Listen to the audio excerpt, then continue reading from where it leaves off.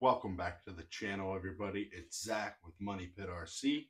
So this is my first ever Truggy, the Team Corally Shogun. So the first thing that caught my eye was the paint job on this body.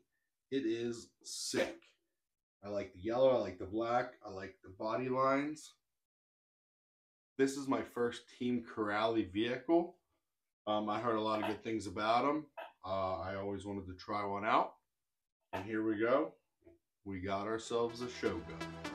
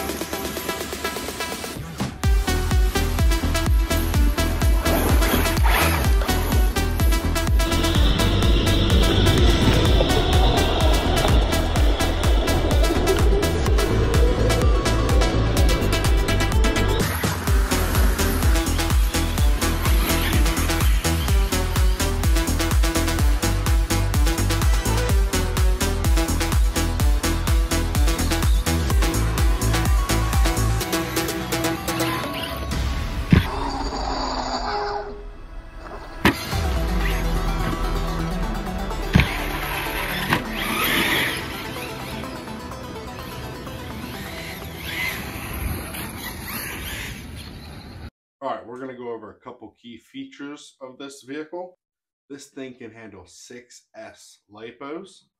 Um, it is a 2050 kV motor with basically a Hobbywing ESC in it, a full aluminum chassis, which that's good or bad, I'll be honest.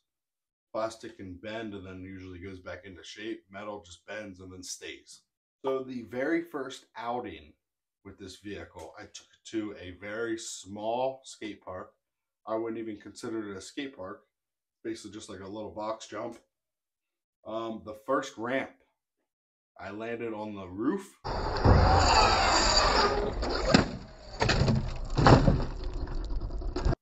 It broke both battery straps and it broke the front arm bracket for the hinge pins. Um, so it kind of put a bad taste in my mouth, but we're going to get it fixed up.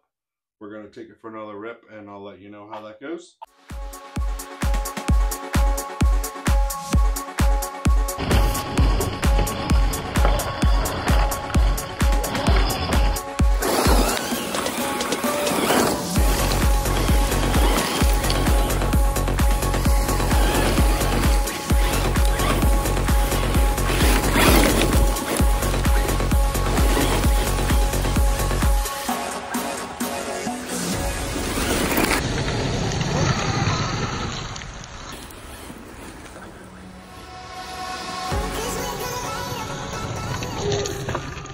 My final thoughts on the Team Corally Shogun.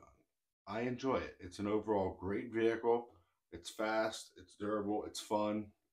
Uh, go pick yourself up one. Till the next video, thank you.